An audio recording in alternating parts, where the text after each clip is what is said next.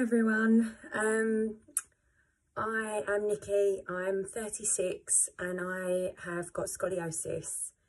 And um, I have been wanting to make a video um, to share some of my experiences and um, with you if you are due to have surgery or if you've recently had surgery or if you've been living with scoliosis for most of your life um, and I've been putting it off and putting it off because it's the first video I've ever done and I've just had a bath, I've got wet hair, but I haven't even dried it because I'm like, enough is enough. I can't procrastinate anymore. If I want to say what it is that I want to say, I'm going to say it now. So here we go.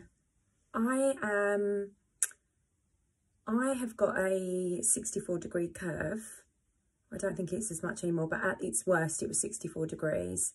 And I had um, the surgery when I was 12 and I was in hospital over my 13th birthday.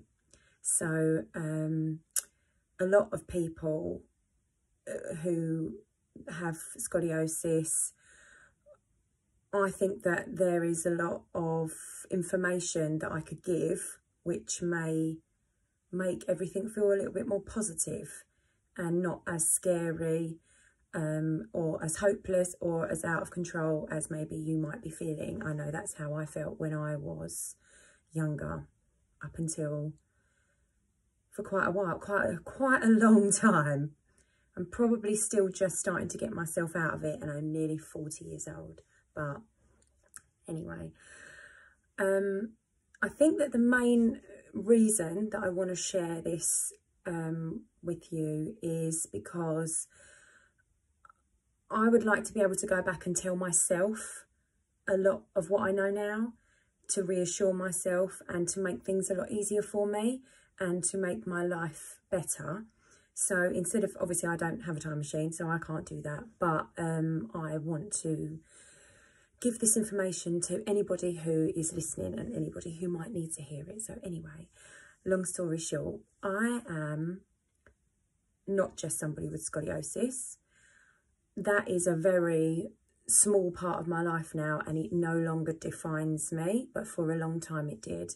And I know and I understand that it is difficult to get away from that, especially when you are younger, you're going through your diagnosis, you're being monitored, you're having your appointments, you are trying to work out whether you need to have a back brace, whether you need to have the surgery, how it's going to affect you, what you can and can't do, how much school you need to miss, whether people accept you or not because, oh, that's a bit weird. Well, what, what, do you mean? Why has she got a lumpy back? Well, that's a bit strange. And all the stuff that goes with it. I went through it. I totally understand how that is and why it consumes your life. And I think that a lot of people with scoliosis and other physical conditions or, or, or, anything when you're a child and you have something that kind of is looming over your head, it can make you feel like basically what happened to me is I became like a product of that. Um, I was no longer a person. I was my body felt like it wasn't mine and I didn't have anything in the future that I was looking forward to. It was all just the next appointment, the next x-rays. Are we or are we not having surgery? The next operation, the recovery. Oh my gosh, the recovery. And it's turned, it, it did turn me into a victim and it's not your fault if you feel the same, if you feel that way, that it's totally understandable because you you you are a worry or a burden because you are a concern for other people. You are somebody that needs to be looked after.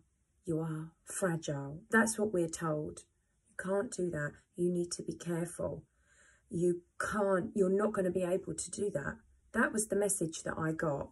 And it was all from love and all from concern. And I am not blaming anybody. I'm just trying to make you guys aware that that isn't the case.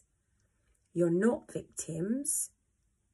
You are going through a situation at the moment that is is going to make you so much stronger and so much more resilient and able to cope with things. Honestly it could be the best thing that ever happens to you and i know it probably doesn't feel like it now.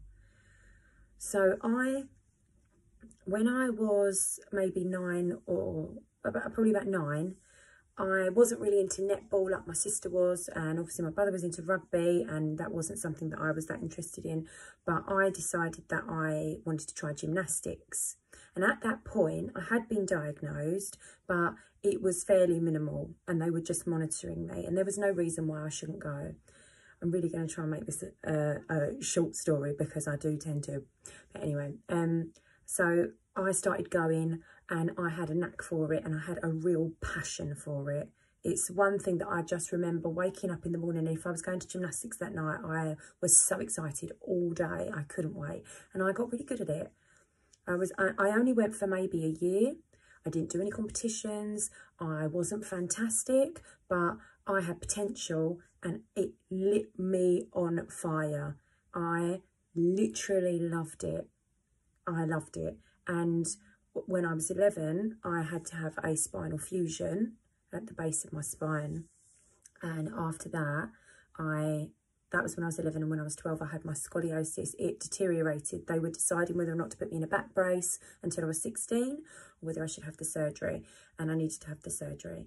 So after that I had to recover from the first one then I had to recover from the second one. I never went back to gymnastics it wasn't even considered. It was not an option. That is not something that people say or recommend. I've got a great idea. I know you've just had a metal rod put into your back, but why don't you try doing some back bends and some arrow springs? That's going to really sort you out. Like it's just off the table. And not only that, I was told that when I get pregnant, I'm probably going to struggle. I'm going to be bedbound for the last month or two. I won't be able to have a natural birth because my body won't take it. And all of these things get into your mind and you hear it over and over again and you can't help but believe it. You are at such a susceptible age when you're like, I got diagnosed when I was like six. And it, it's just that that's just the way it is. It's just the way it is. But so I didn't do anything for myself after that. I I just sort of lost hope. I didn't think that I would ever do anything fun. I was so low and just looking for anything that would make me feel better. I got into relationship after relationship after relationship where I hoped that the man would give me love to make me feel better. I just wanted something to help me because I just felt lost and like I had nothing to look forward to. I didn't feel feminine. I didn't, I was disconnected from my body because it felt weird to me and it was like a burden. And I, I just hated myself. I hated myself. Um, and then that went on until I was 26. So that's a fair amount of time to be feeling pretty rubbish and just empty and victimy. Everything everything was happening to me. Everything would happen to me. Poor me. You know people would feel sorry for me because that was the story of my life. I had things that were out of my control. I tried my best but i was the victim and that was my mentality. And then my sister decided that she wanted to try pole dancing and i didn't really want to go but I love my sister and I went to a taster session with her and I watched these women doing these amazing things on the poles and I honestly um, I was a little bit embarrassed. They, luckily they had the lights off because I got really emotional. I cried my eyes out. I don't know what happened to me but I I just was like, that is the most amazing thing I've ever seen. And I need to do that. and there was, it was like it lit that fire in my soul. And from that moment on, every class that I could get to, I would go and I will just paint a picture for you. I was 26, I'm five foot two. I was skin and bone. Like I've never been a, a particularly big like person. I've always been like fairly petite, but I was skinny. Like I had no muscle tone at all. I could barely hold myself up on that pole. I need to put this somewhere so that you can see me, but I'm up on my toes and it's hurting my feet. Sorry. Um, I'll cut that bit out. So I, I started going and I felt like I'd been hit by a bus. Like my body was just battered and bruised. It was the hardest thing I've ever tried to do. And I was just not built for it. And that's what I was telling myself anyway. Like you're, you know, I was looking around at these other girls and thinking, I cannot believe what they can do. I could not touch my, I was so far away from my toes when I was, I was about that far away from even touching my toes. So inflexible, so weak mentally and physically. And yet there was something inside me, which I think it was just my, you know, my, the gymnast, the frustrated gymnast in me that was just dying to get out and so I went and I went and I went and I went and I went and I went and I bought myself a pole and I put it in my dad's workshop, which is at the end of my garden or his garden with concrete floor. And in the winter, when the pole was freezing cold and you have to wear like minimal clothes for it, I would go down there and train and then I started to put myself into like little competitions in in that studio where and the first one I did I did an intermediate competition in the studio and I won it. And I would create routines in my head 24 7 pick the music get the costume get the routine. And when I was performing it I would feel like I was going to cry. Like multiple times I would well up. I would well up when I was watching other people. I would well up when I was performing. And over the course of the next like 10 years, because that's how long I've been doing it for now, am I the best one in the world? No, absolutely not. Have I managed to do more than anybody would ever have thought I would be able to do? Yes, 100%. I have pushed myself and I have used that love and that passion for pole dancing, for gymnastics and for being flexible and all of those things that I wanted to be when I was a little girl and I couldn't. And I've thrown myself at it with so much force that I've smashed every goal that I had for myself. I have come second in like British Isles competitions. I um, which I never even thought I would place. Like, you know, some of the girls that were performing were absolutely amazing. And I, like, I came second. I was, I've, I've done shows. Um, I performed in like theatres and things like that. I've had loads of photo shoots where I've got these amazing images of myself and it is all like it just blows my mind that that's even the case from where I was when I was 14 15 years old and I was like uh, a I would never show anybody my disgusting body absolutely not when I first started going to pole I was like t-shirts leggings covered up embarrassed and over time you have to start wearing crop tops and shorts because you can't do the moves unless you have your skin out because you can't grip to the pole.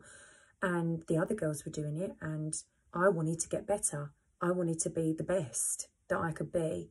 So I had to, I had to get used to it. I had to embrace my body. And I'll tell you something else. Some of the moves for pole require your leg to get really close to your chest. And because my hips are twisted this way, this, my right leg wouldn't get anywhere near. Like, I literally can barely sort of like bend it up. But this leg, because of the twist, gets so close and I can extend it so high that it really helped me with pole. It's actually a bonus. So yes, I can't do um, moves that require an, a significant back bend because physically with the metal in there, I'm not capable of doing that. But I now can, not only can I touch my toes, I can get my hands flat on the floor. I can do the splits in box split, front split, both sides, which is something that I had to work on for years. It doesn't come easy for us. It's not easier it's going to be more difficult. We are not as mobile. And maybe it will hurt and maybe it will make you ache and maybe you will struggle. But I promise you, if there's something that you love, that lights you up and that makes you feel joy and passion, then nothing can, should stop you from, from giving it everything you've got. Nobody and nothing could, should stop you. I was told that I couldn't have my baby naturally. I was told that I would struggle. I was told that I needed a general anaesthetic to have the baby like via cesarean. And I said, absolutely not. I know that I can do this. And I went and saw a consultant and a, a, fracture and trauma consultant. I took all my notes with me, like notes like that. I'm sure you've got the same. And he said, like, oh, I think that you could. I think you could do it. And anyway, long story short, I did. And I didn't tear. I didn't have hardly any blood loss. I had her naturally, no problem. And it was the best decision I ever made, the most incredible moment of my life. I've never felt more powerful and more in tune with my body, more grateful for the strength, for the pain that I've been through because it was nothing in comparison. I was ready. I could push her out with everything that I had in me because I know that I've been through worse when I was young and it was hard. And I've overcome it, so I will overcome this and I will overcome everything. I'm going to show you like a picture of me when I was little, or a couple of pictures, and then I'll show you some of my pole dancing pictures. And I just want you to see that you can go from geeky, skinny, twisted up, just so uncomfortable in my body, in your body, and feeling like you will never do anything physically amazing. You will never, ever be able to do what you want to do. And then I hope that this inspires you in some way and helps you to realise that if you can go through what you have already been through or what you're about to go through or what you have been through, then you are so much stronger than you think. There, there is so much more inside you that you need to just harness and use and do it for whatever it is that lights you up and makes you feel amazing. Because I, I would hate to think that you would stay in that sort of victim, worthless, embarrassed, uncomfortable mindset. And you, you can't let this define you. It's the best decision that I ever made was following my what I loved. Just doing what I loved regardless of anything else. Just ignore it. Just don't don't you know never hurt yourself but that's not what it's about you're not going to want to hurt yourself or push yourself to the point where it's painful I've never been I've ne it's never hurt me other than normal like bruising and you know if you fall if you fall off it hurts but Nothing like, and do you know what? I went to see an osteopath and this wasn't that long ago, maybe a couple of years ago. And he did not know that I did pole. Oh, you know, I, I never mentioned it. And he did a full assessment of my body, all the alignment, because my hips are out of alignment with my knees and my feet and shoulders are out of alignment, neck's all funny, you know, everything, everything's all out of whack, like, like everybody with scoliosis. And he said to me, you are in incredible shape. Your body is unbelievable at coping with I would expect you to not even be able to stand on one foot and balance whilst you put your boots on. Like, that's what he expected. And he was like, whatever you're doing, keep doing it because it's working. And I was just like, all I'm doing is uh, is doing what I love and it's strengthening my back. It's making me have better balance. It's giving me stronger core so that it supports my, my skeleton. I don't suffer with headaches. I don't suffer with backache. I don't suffer with any sort of like body aches and pains. I didn't suffer during pregnancy. My back didn't hurt during pregnancy. I was fine during my labour. And I really, really believe that it is a mindset that anyone can can utilize and maybe you can't get up a pole i know there's people out there that are far more physically affected than i am but i know that there will be people who are holding themselves back just because they believe that they can't and that they shouldn't and that they're not able to and that's not the case because you can really really impress yourself and do amazing things, things that you never thought would poss were possible. I promise you that. And I really want to give hope to the younger people who are going through, you know, the surgery. is a horrible time. It's usually like uh, early teenage years when, you know, you're you've got to wear these. I had to wear a plaster cast from up here to down to my, for, for like six weeks and I was in so much pain. It was just, it was awful. And I felt like it took me years to recover from it. And it's the time when you should be feeling really good and really like, you know, you're young and you should be fit and active and wearing all like the clothes and looking good and feeling confident. And it's hard. It's hard, but it's not impossible. And I think if you can get yourself into that mindset of it doesn't matter what anybody says or how I feel about myself and what my body is like, I'm going to do this thing that I love. I'm going to try and go for this thing that I love and I'm going to do it the best I can and I'm going to have the most fun that I can because I never ever for one second thought I would be able to do half, a quarter of the things that I have been able to do just through starting pole and going as far as I could with it. So I just wanted to share that with you guys and I hope it helps in some way. And I really do truly love yous all to bits. And I hope that you make the best of your situation and you're all amazing all amazing just warriors. And I love you to bits